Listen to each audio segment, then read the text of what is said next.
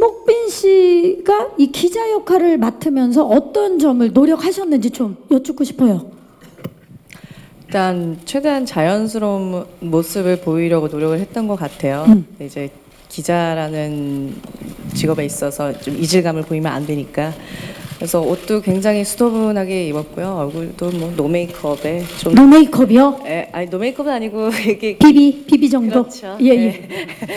기자 하면 느껴지는 그런 네, 이미지로. 예. 느껴지는 이미지로 표현했던 것 같은데 제가 좀 더 어렸을 때 좀 더 진로를 이쪽으로 정하고 했었더라면 네. 했었더라면 정말 잘했을 것 같다는 생각이 드는 거예요. 예. 지금도 늦지 않았습니다. 늦었어 늦었어.